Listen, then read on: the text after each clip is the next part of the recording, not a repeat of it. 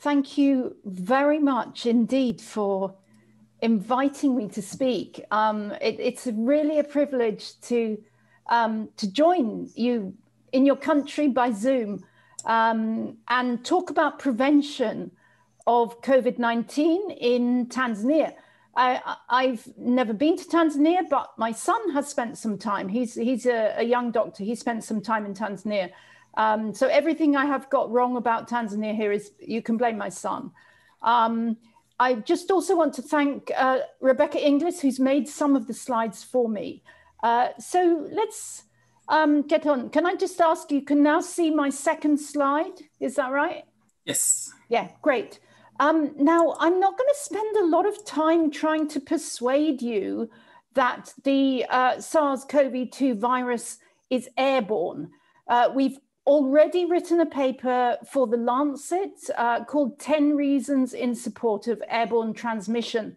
Um, and since that paper was published about a month ago, people have come up with more reasons 11, 12, 13 reasons. There's many, many streams of evidence which show quite definitively that this virus spreads through the air and almost certainly airborne spread is the predominant route of transmission. Now, I know that not everyone believes that, uh, but there is a lot of scientific evidence for it. And everything I go on to say uh, is going to be about preventing airborne transmission. Um, it is important also to note um, that tuberculosis is also an airborne disease. So all the measures that we're going to talk about are also going to be effective in the prevention the spread of tuberculosis. Um, I think I'm right in saying that more people are dying of TB in Africa at the moment than are dying of COVID. So let's not forget uh, other infectious diseases. Now, probably many of you know uh, the basics of prevention already, and I don't want to patronize you. Um, you know the message probably hands, face, space, uh, ventilate. Um, what they were used to say, the WHO were very keen on hand washing initially uh, because they assumed that the virus was spread by droplets. And yes, it is true we should be washing our hands. Hand washing prevents diarrheal disease. It may help prevent the spread of COVID. Um, but actually, the hand washing needs to be put in perspective because masking, in other words, covering the face, um, physical distancing, sometimes called social distancing of two meters, uh, that's really important both to prevent droplet spread, but also because aerosol transmission occurs mainly within two meters. It also occurs beyond two meters, but if we can keep uh, uh, physically distant from people, uh, that is a really good way of preventing spread. Uh, but most importantly, ventilate. Uh, and this is the new one. This has only been added uh, to the WHO recommendations in the last maybe two or three months. Um, the Japanese, in fact, uh, began very, very early in February 2020 with this three C's slogan avoid the three C's, avoid crowds, avoid closed, closed spaces, and close contact. And that was because uh, Japanese researchers believed from the outset that COVID 19, the virus causing COVID 19, was airborne. So we're moving from a prevention strategy that focused predominantly on hand washing to one that embraces ventilation and space uh, as really key measures. Uh, and as I put on the top of the slide, the prevention measures need to be very simple, they need to be culturally congruent and available in all the languages spoken uh, locally. Very, very important. Um, so, yeah, so here's another um, poster. These posters you can download from the CDC website in, um, in Atlanta in America.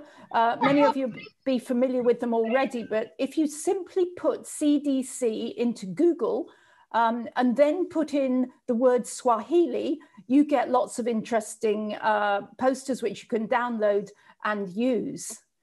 Now, because COVID spreads in the air, because the virus spreads in the air, indoors is much more dangerous than outdoors, and closed spaces are very, very dangerous uh, for the transmission of this disease, especially if you are spending a long time in those closed spaces. So, two uh, particular things uh, are, are really, really risky. One is travel.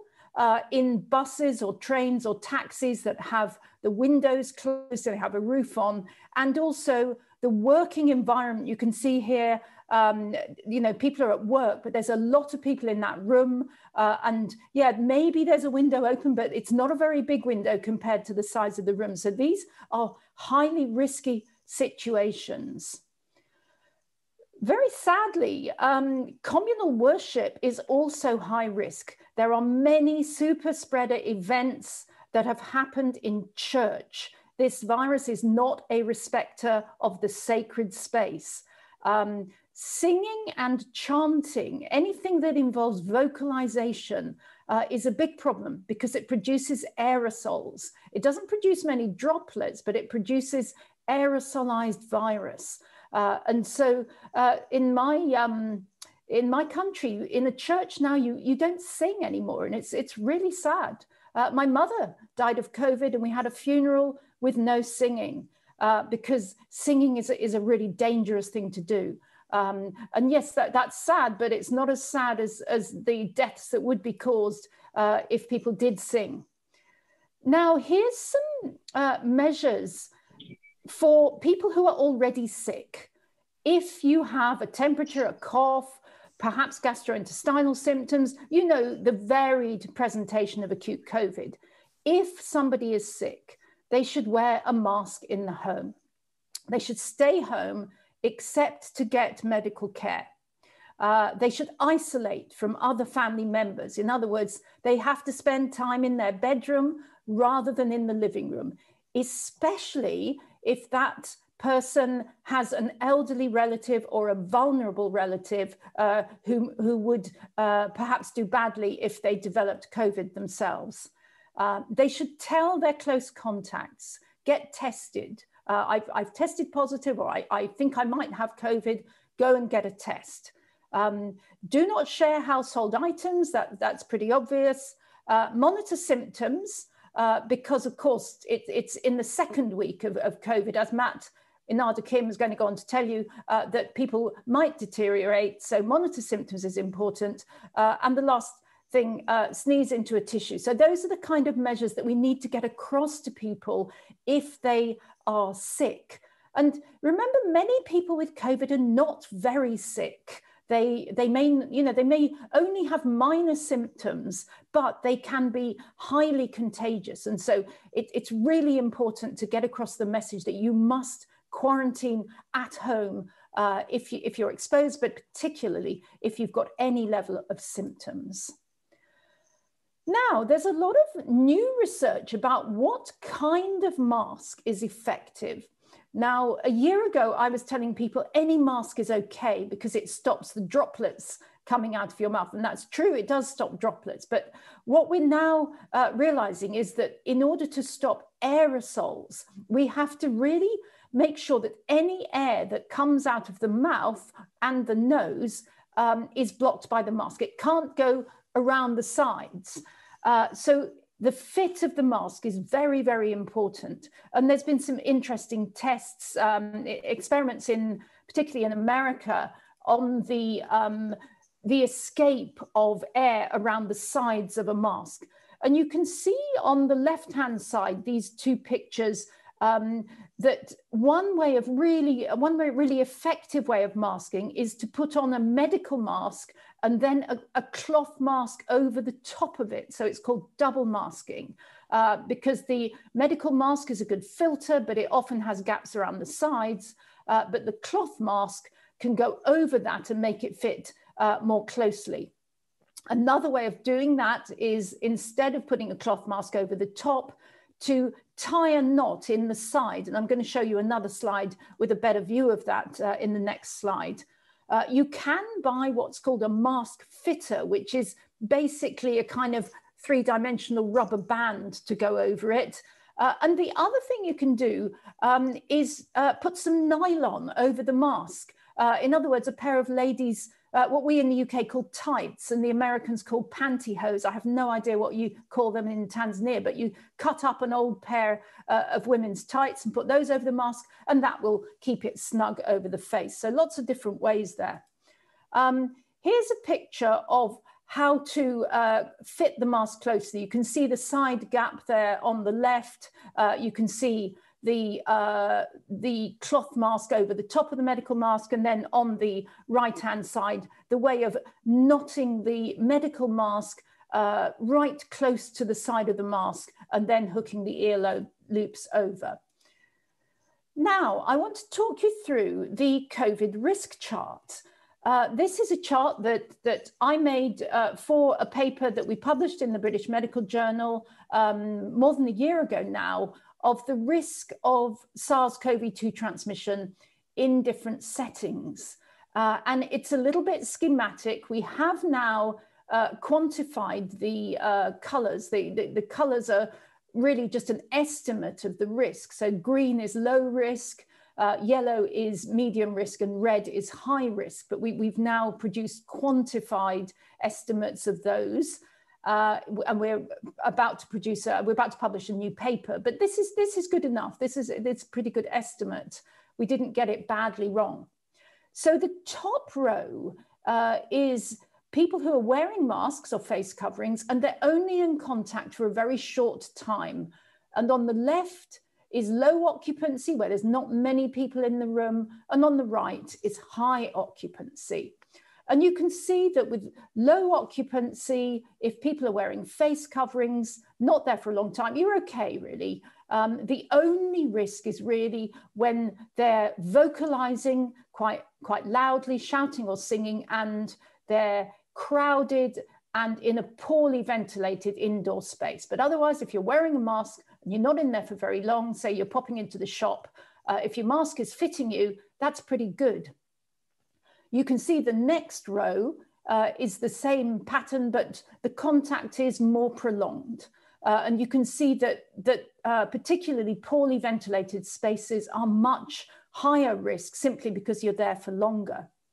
And then the next row is where people are not wearing masks and the risk increases quite substantially, even when there is low occupancy, even when it's not so crowded. And finally, um, at, at, the bottom, the last row is no face coverings and contact for a prolonged time. Uh, and really, if, if you're doing that, if you're going into a room for a long time and it's crowded uh, and someone is in there uh, who is contagious for COVID, uh, you may very well catch it. So that's a, a rough risk charts, uh, which we've found very useful. It's been translated into more than 50 languages. Um, if you put the hashtag COVID risk chart into Google, you'll, you'll be able to download these. Uh, and um, the British Medical Journal is very happy for people to print them off and put them up if, they, if they're helpful. If you'd like to translate it into a new language, uh, get in touch with me. As you can see, we've got Swahili uh, already. But I know there's lots of local languages, so I can, I can give you the Word document of that. Now, I want to talk a little bit about improving ventilation in buildings because ventilation is absolutely key. Uh, and interestingly, when I was looking for posters and, and videos and things in Swahili, when I, I just thought, what's, what's already available in, in uh, one of the main languages of Tanzania? Actually there's very little about ventilation. There's a lot about hand washing, there's a lot about masks and, and physical distancing, uh, but I couldn't find much about ventilation. Uh, and yet ventilation is crucial. So there's a, there's a job for someone to make some posters about ventilation. Um, so I'm going to just send you, I'm going to show you now uh, Rebecca Inglis's uh, pictures which she made for Laos, actually, a different country, but I think uh, similar kind of um, income levels, similar climate, I, I, think. So I don't think the pictures are going to be uh, very inappropriate. I, um, for example, here, the safest way to minimize the transmission is by being outside. You can see here uh, the top of a tent, but the sides of the tent uh, don't exist. You know, it's just it's just a roof. Uh, so that is a great uh, setting, much better than being indoors, because if you're indoors, the levels of the virus build up. Uh, if you are indoors, monitor the carbon dioxide levels. Uh, you can get a machine relatively cheaply, and you don't need one for every room. They're very small, they're very portable, and you can carry them from room to room. So you only really need one per business or one per hospital or something like that. Now, the outdoor level of uh, carbon dioxide is about 400 parts per, per million. Inside, ideally, 400 to 600. Um, it's okay if it's 600 to 800, but once you get above 800, what that indicates is there's a lot of exhaled air in that room. People are breathing out and it's not, uh, it's not dissipating into the air. Um, it's unsafe to go above 1300. Uh, and if you if you look on Twitter, don't know whether you're Twitter followers, people will sometimes show pictures of CO2 monitor levels in uh, stuffy win stuffy rooms with the windows closed and it'll be going up over 2000 and that is very very problematic. Um, okay. So open the windows.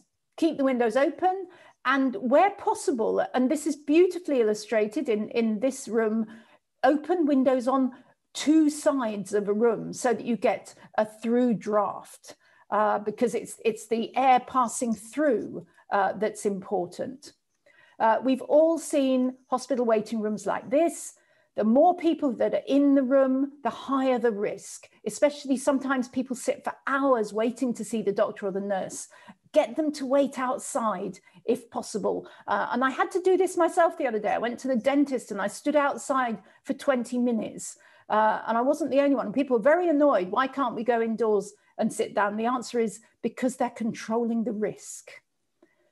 Um, set your extractor fans to blow outwards. That is what they were designed to do. Um, but many of them have been fitted incorrectly. So make sure they haven't been. Check the direction by holding a piece of tissue up to the blower. Unblock the air vents. Um, I mean, people talk about these fancy filters and things that you can buy, very expensive filters, but perhaps the, the first thing you can do is go and check the air vents and take off the sticky tape that someone put on there to stop the draft. We, we need drafts.